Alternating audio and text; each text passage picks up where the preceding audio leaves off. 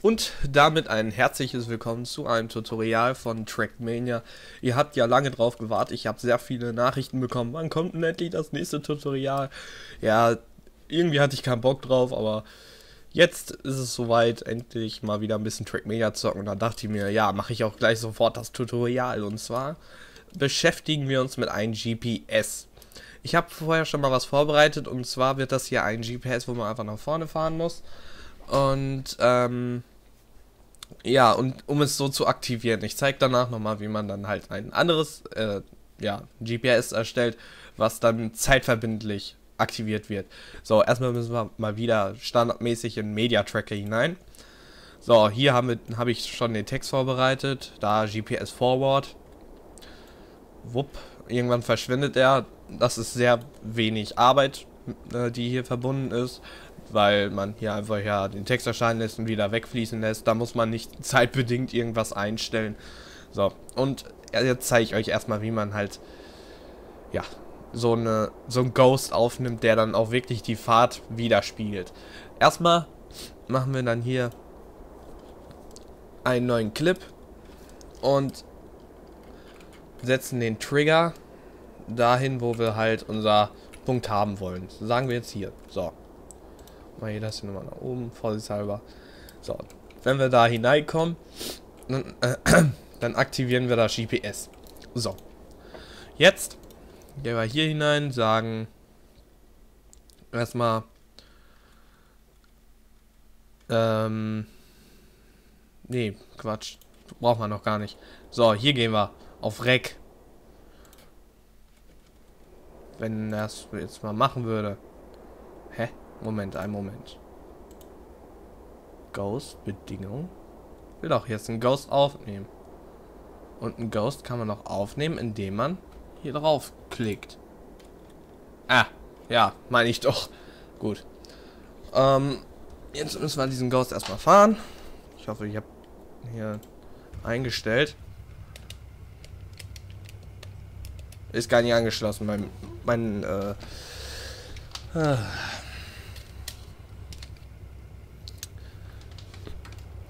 Wie chaotisch das hier gerade zugeht. Ich wollte eigentlich ein ganz normales Tutorial machen und jetzt ist der Vorzeigeeffekt da, jetzt funktioniert gar nichts mehr.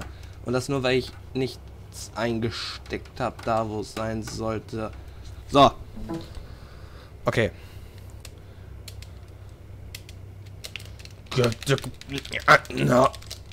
Aktivier dich.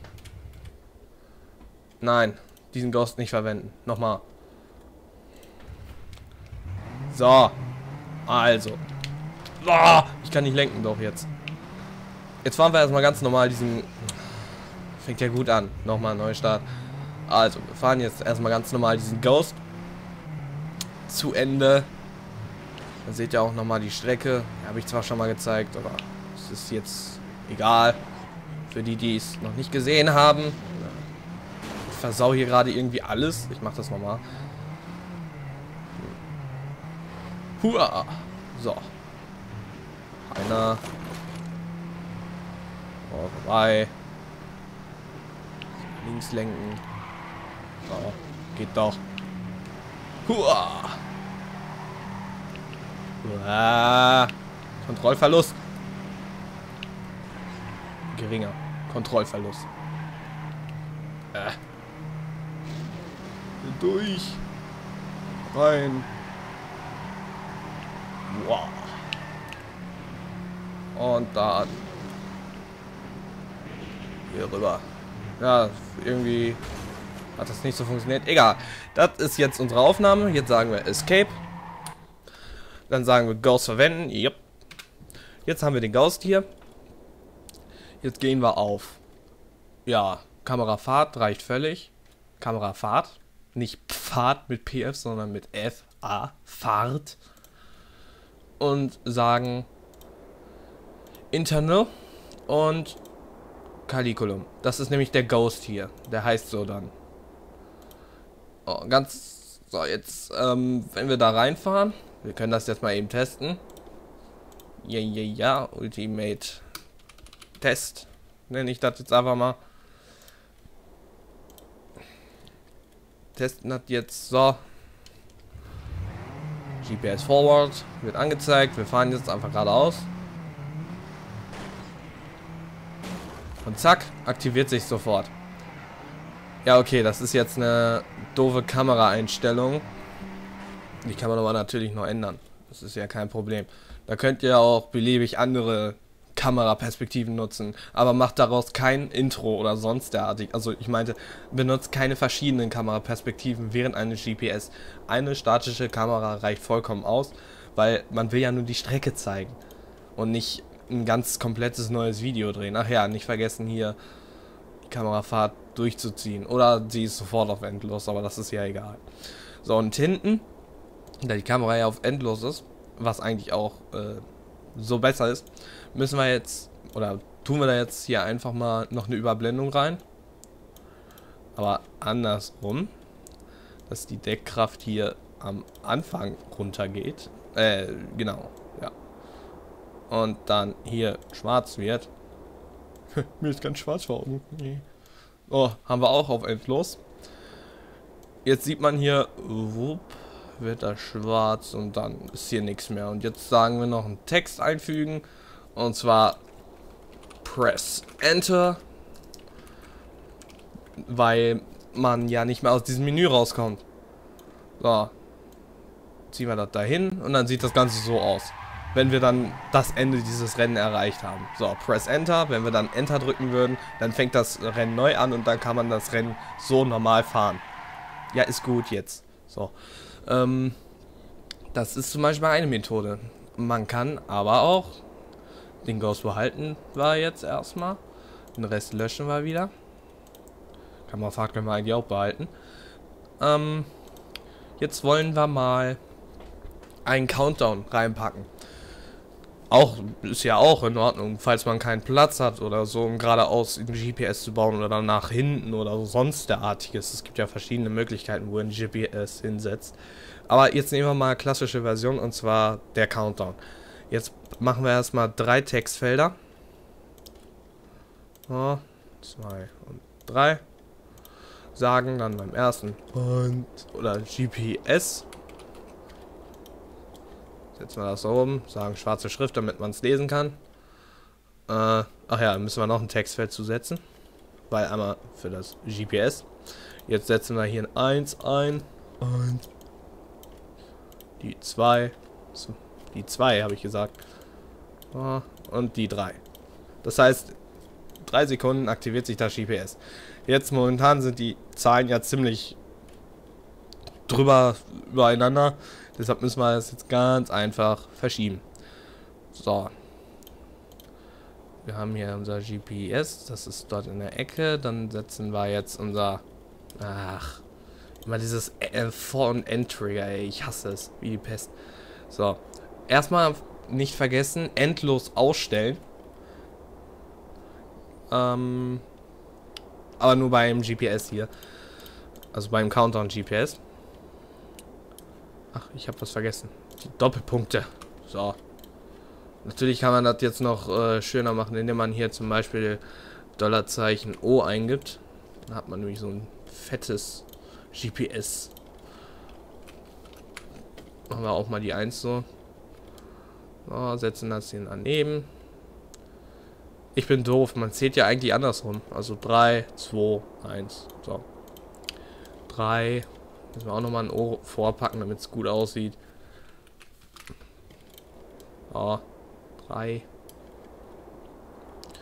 So, und jetzt müssen wir gucken, dass das hier auch ein Abstand von... Na. Jetzt müssen wir gucken, dass das hier auch ein Abstand von... Ähm, ja, einer Sekunde ist. Aber das können wir ja ganz einfach machen. Erstmal wieder endlos hier ausstellen, ne? Nicht vergessen. So, wir haben hier 1,69. Jetzt gehen wir auf 2,69. Das ist dann... Ähm, naja, man kann es ja zum Glück hier einstellen. 69 ist dann dort. Dann ziehen wir das Ganze... Hat ja echt viel gebracht, ne? 69. So, 269. Jetzt packen wir dahinter dann sofort die 2 hin. Also wir nehm, übernehmen jetzt die Infos hiervon, indem wir jetzt den vorderen Trigger anklicken, STRG gedrückt halten und einfach hier, wo die 3 ist, jetzt draufklicken. Dann haben wir genau die gleichen Daten übernommen. Also den Standort, wo es ist, mit welchem Winkel. Und falls ihr eine Rotation einbauen wollt, dann hat es genau die gleiche Rotation. Nur der Text, der ist halt der gleiche geblieben. Und jetzt seht ihr sofort 3, 2 und ja, da fetzt die 2 erstmal weg. Da müssen wir jetzt so wieder hin platzieren. Jetzt müssen wir wieder erstmal auf 367 packen. So. Nicht die 367, ah, geht doch. Und dann das gleiche Spiel nochmal hier, Linksklick, STRG bei 2 oder bei diesem Trigger hier halt, damit wir die 1 hier drin haben. Und wieder 365, das wird dann 3, nein 4, 65, klar. Ist ja spät, ich darf Fehler machen, so. Na, kommst du wohl? So. Nein! Ich hatte es doch gerade. Äh. So. Muss man ein bisschen rumfixen. Und natürlich nicht vergessen, SRG. Also mit SRG kopiert ihr ja die gleichen Daten nochmal von dem anderen, indem ihr SRG gedrückt halten und den Trigger dann anklickt. So. Jetzt haben wir. Ach ja, wieder nicht vergessen, ich sehe ja selbst schon endlos ausstellen. Sonst habt ihr die ganze Zeit diese Zahlen dort stehen und das will keiner. So, jetzt haben wir hier den Countdown. GPS 3, 2, 1. GPS erstmal hier durchzählen. Ah. 3, 2, 1. Die m, Zahlen könnt ihr dann auch mit Effekten versehen, dass die zum Beispiel erst äh, so die Deckung äh, leicht haben und dass die dann so rausspringen oder dass so mehrere äh, Zahlen hintereinander, dass so aussieht, als würde so eine Schattenreihenfolge entstehen oder sonst was. Es gibt tausende Möglichkeiten, womit man auch richtig coole Effekte machen kann. Aber ich äh, will die jetzt hier nicht zeigen, weil das wird zu viel in Anspruch nehmen und das habe ich schon in den anderen Tutorials bereut.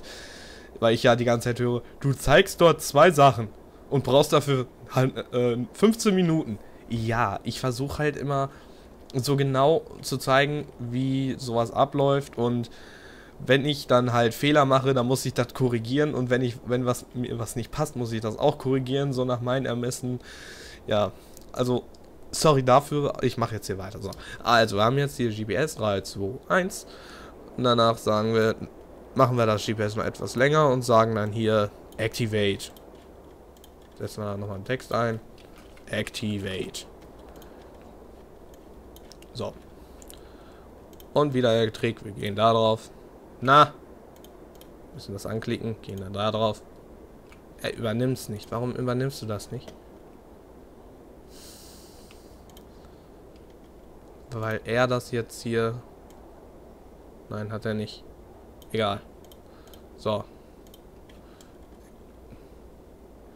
Aktivate. Wie habe ich den Activate geschrieben? Ah, Denglisch, du bist mein Feind. So. Weil das hier ja auch äh, äh, nicht nur deutsche äh, Spieler spielen, sondern auch englische Spieler, solltet ihr auch immer wirklich Englisch schreiben, auch wenn euch das nicht gut kommt. Also wenn ihr Englisch nicht mögt. So, Activate. Da, da, da, da. 3, 2, 1. Activate. So, jetzt, aber nur jetzt, packen wir jetzt den Ghost hier hin bei Activate da wo er anfängt. Und natürlich die Kameraführung, weil wir wollen die nicht sofort aktiviert haben. Das heißt, hier ist wirklich nur der Text. Das heißt, währenddessen könnten wir eigentlich schon munter losfahren. So. Jetzt mache ich hier nochmal eine kleine Überblendung hin, damit das so darauf zuweist, dass dann die Kamerafahrt so anspringt. Also hier wieder Überblendung, wo haben wir es? Überblenden. Dass es immer andersrum ist. Schwarz. So. Das kann man jetzt auch in weiß machen oder sonst was. Oder mit einem Kameraeffekt kann man auch einfach in den Wagen reinzoomen und dann fängt auch an. Das habe ich auch schon gemacht. Aber das will ich Ihnen nicht zeigen. Ich zeige euch jetzt die schnellsten Versionen. So. Habt ihr davon. Puh. Na. Oh. Hup. Ach. Sieht kacke aus. Mach das mal so. Und nicht vergessen, Endlosschleife immer wegmachen. Der macht das gerne dann. Das ist Ingame so eine so eine so eine Schleife macht er halt da Ingame gerne. Ich habe eine Idee. Ich mach mal hier noch einen Trigger hinein. Ja, Steuerpunkt einsetzen und sag, hier ist die Deckung voll und hier geht sie weg. So, das heißt, dann haben wir diesen komischen Übergang hier. Zack, so einen schönen, äh, ne? So, ja. Klein, aber fein. So, jetzt kommt das nächste. Wenn wir jetzt hier weiterfahren würden, ich zeig das mal kurz. Ja, ja, Tutorial und so weiter.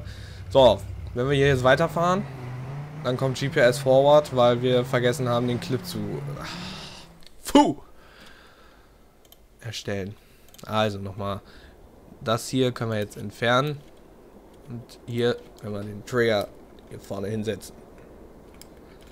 Ach ja, der VV-Effekt. Ähm, GPS immer schön aufs Ziel packen, ne? Nicht woanders hin. Nicht davor oder dahinter, das äh, wird nur beirren. Weil man will ja sofort am Start dann sehen, wie die Strecke gefahren wird. Und da gibt es, ja, also bei diesem Countdown, nicht bei dem Press-Forward-Ding. So. Wenn wir jetzt losfahren würden, dann ist da das GPS. 3, 2, 1, zack, auf einmal fängt er an und wir fahren eigentlich noch. Vielleicht können wir jetzt hier... Ne, wir haben schon einen Unfall gebaut. Wahrscheinlich sehen wir uns gleich. Wie wir irgendwo im Abgrund liegen oder so. Ne. Naja. Also. Sagen wir zurück zum Editor. Um das zu umgehen, dass wir plötzlich auf einmal... Ja. Im Graben liegen. Erstellen wir einen neuen Clip. Jetzt wird so banal einfach. Das glaubt ihr gar nicht. Und sagen jetzt einfach... Ja, wir setzen davor wieder einen Trigger also das wird quasi schon reichen. Jetzt, weil das ein leeres Event ist, ist das so gesehen ein ähm, Reset-Trigger. Das heißt, hier wird alles resettet, weil da ist alles auf Standard. Da gibt es dann keine Animation, keine Texte mehr, gar, keine äh, vorgegebene Kamera, nix. So kann man ja auch ein Looping machen. Da, weg ist es. Und man kann ganz normal weiterfahren, ohne Probleme. Wenn man fahren kann. So, ähm, Jetzt gehen wir zurück.